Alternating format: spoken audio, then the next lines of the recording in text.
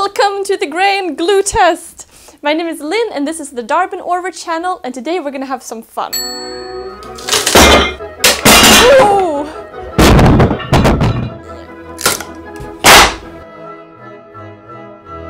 For a long time I've been really curious as to which glues really perform best. Why do you use one over the other? So I thought today that I'm gonna make a couple of tests. I have an assortment of glues here, some which are traditionally used in joinery and some which are not. I have Titebond type 2, 3, I have liquid nails, I have epoxy, I have hide glue, I have gorilla glue, and I have hot glue. I've set up a couple of different tests, plywood and butt joints, and pine and miter joints.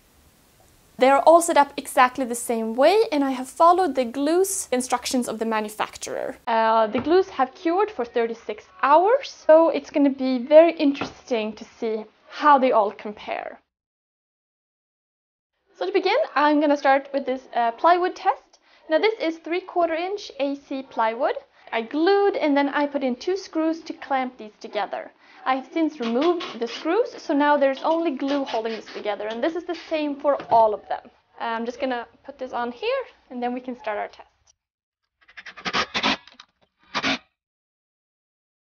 First up, Titebond 2. Another five pounds. That is not very strong. That the plywood just broke off here. Next up, we have Titebond 3. Okay, let's add a two and a half pound on that. Yeah, that broke a little differently.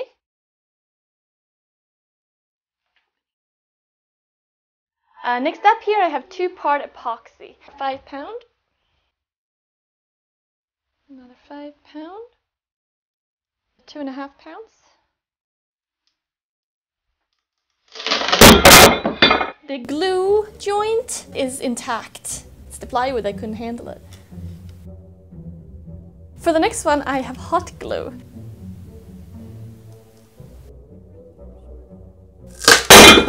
Here it, it broke at the glue joint.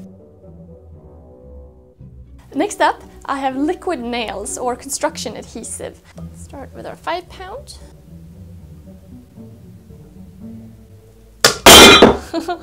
well, that did not do that good, did it? The glue broke before the plywood here. Okay, next I have liquid hide glue. 10 pounds? Pretty strong.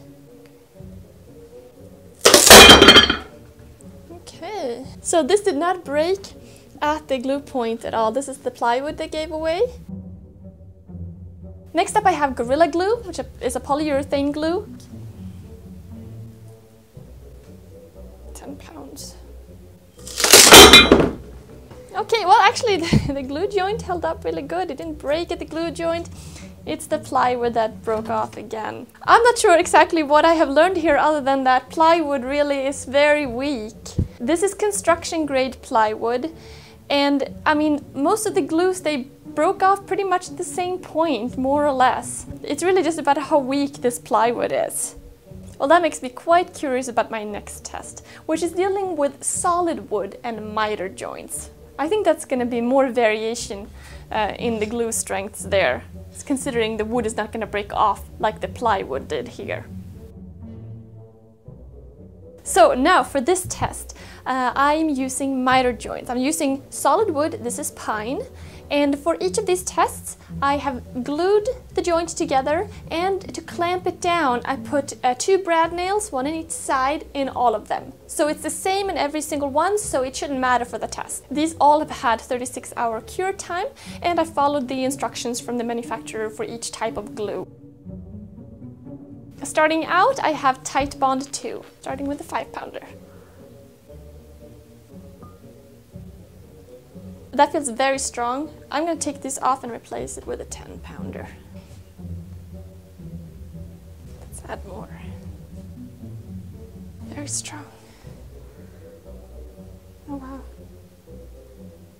Wow. I'm going to take this 5 pounder off and replace it with a 10 pound. Okay.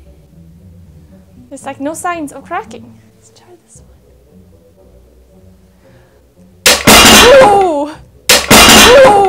So, that was just unbelievably strong. And it was the wood that cracked. this wood cracked. The wood just couldn't handle that weight. Wow. That's just incredibly strong.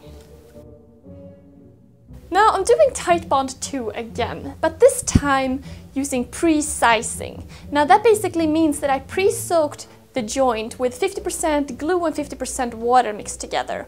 I waited a couple minutes and then I put on, you know, regular, you know, the glue, um, undiluted. Uh, and this is supposed to make the joint stronger. So let's see if it does. This time I'm just gonna go with the 10 pounders right away because I know it's strong enough. Put this one on too. The sizing didn't work at all. There's no, I mean, this is a good joint too, there are no knots or anything. Huh, I'm quite surprised. I guess this means that glue sizing doesn't work. The theory doesn't match reality. This joint broke at you know less than 20 pounds, whereas my uh, regular Titebond, uh, you know, that one broke at 35 pounds. So this one didn't do nearly as well. Now that's really interesting. Now the next one is Titebond 3.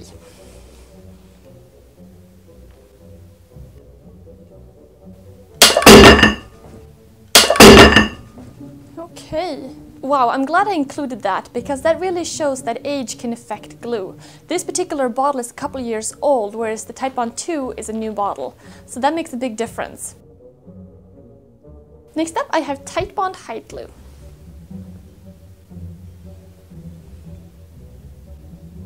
I'm gonna replace this with 10. So that broke at 10. Well, I guess hide glue is not so good for this. Huh, didn't do nearly as good as the yellow glue. Next up here we have hot glue. Hot glue is not something you traditionally use for joinery and it's actually kind of hard to get a good joint because it dries so quickly. Uh, but let's see. I'm, I'm kind of curious about this one. I doubt it's going to be that strong, but you never know.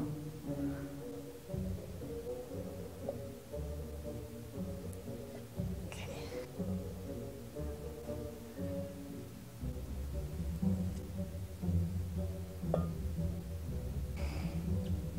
Pretty strong. Okay, I'm gonna take this one, take this one off and put a 10 pounder on.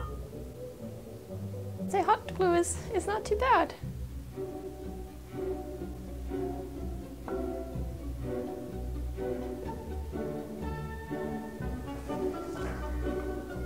Okay, it's going.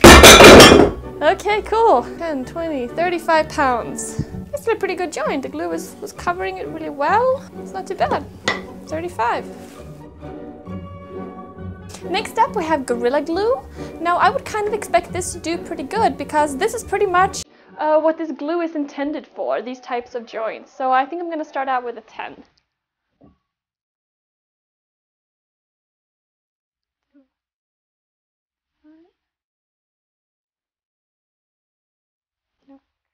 Cracking or anything. 20 pounds, 25 pounds.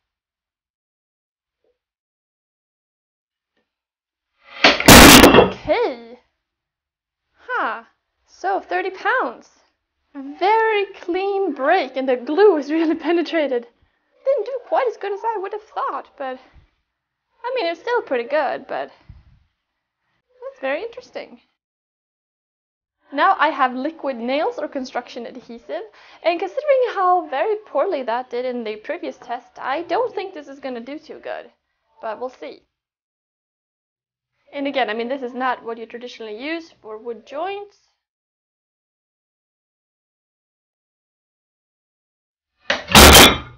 Okay, 15 pounds, yeah. It didn't do too good. Not a good contender. Hmm. Next up I have two-part epoxy. And again, this is not what you traditionally use on uh, you know, wood joints. So we'll see how this one does here. I'm going to replace it with a 10 pounder.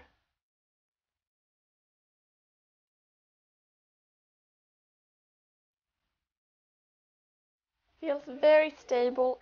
I'm gonna put uh, two and a half pounds on. I'm gonna take that off and this one replace it with a 10 pound. Let's see here.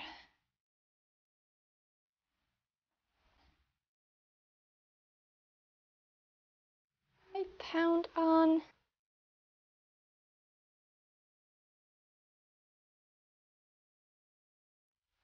Wow, put on five pounds more.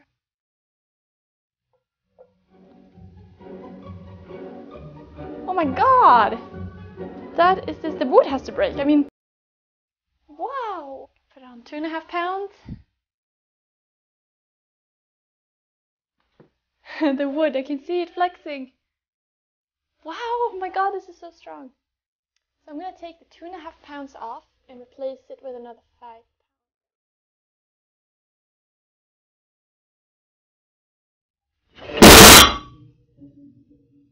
So since that fell off, I thought I need more concentrated weight. So now I have a 25 pounder on here. So let's move from there. Five pounds, five pounds. I'm gonna take one off and put a 10 pounder on. This, this wood has to break soon.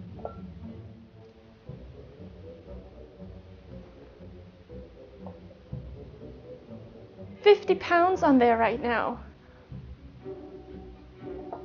I wonder why the wood is not breaking here. It really, I mean, it's not, it, there's a lot of weight on here. I'm gonna take the top off and put a 10 pound on.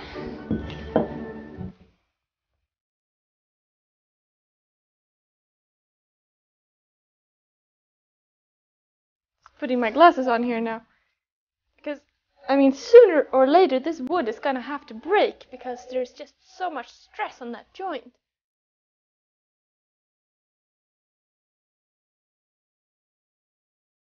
Breaking.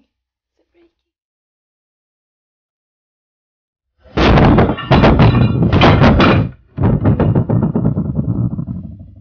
Well, apparently epoxy seems pretty unbreakable, or at least I couldn't break it with the, with the weights that I had. So let's move on to phase number three, the bench press test. So let's see if I can bench press the epoxy joint. Let's see. Okay, there we go. oh, I guess I did it. oh. Epoxy is incredibly strong.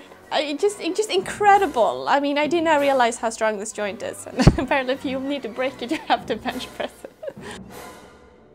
Now for the jump test. Uh, this is a plywood again that's been glued together with a Titebond to a yellow glue. So let's see how strong it is this way. I think it's going to be quite strong. Although, it's cracking. Okay, let's see. Ha! Ha oh, cool. That really wasn't that strong. Ha! Oh, wow. That just gave right in. Okay, let's do another one. So since the yellow glue didn't fare too well, I have another, one prepared, this time with epoxy. And this is the same 3 quarter inch plywood that I used in the other tests. So let's see how this one, how strong this is. Okay. I'm curious if the plywood is going to break before the glue joint. Ha! Okay, let's see.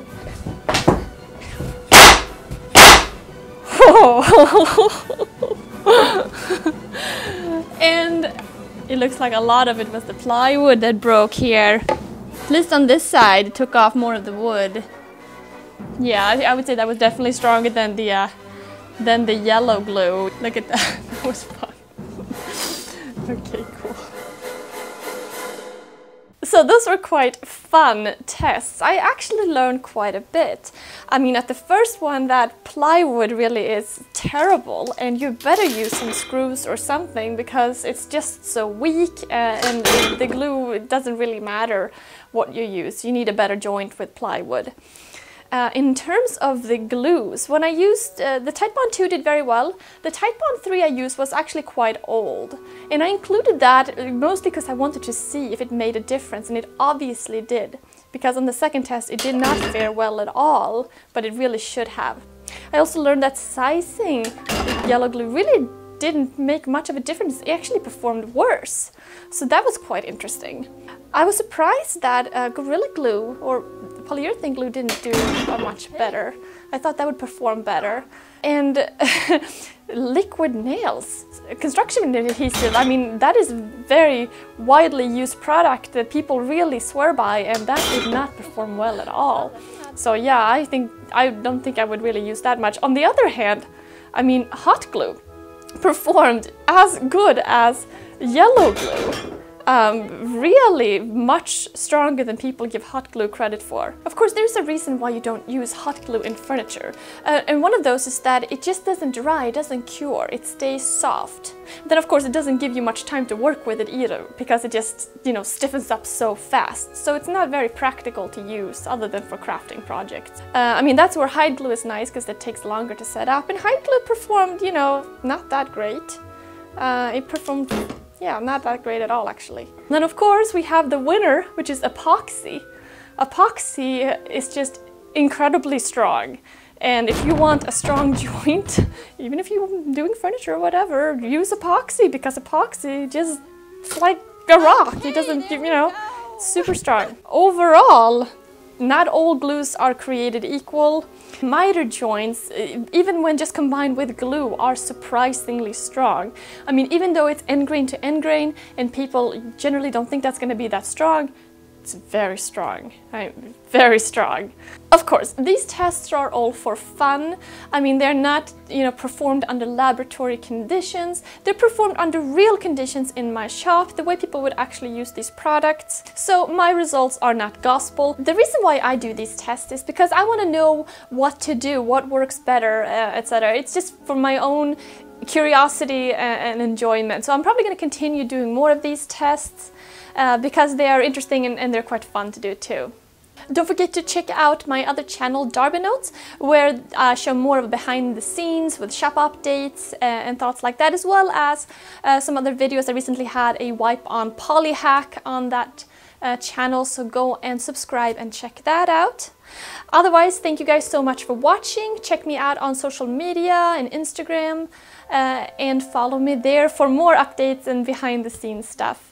Thank you and I'll see you in a couple of days. Bye.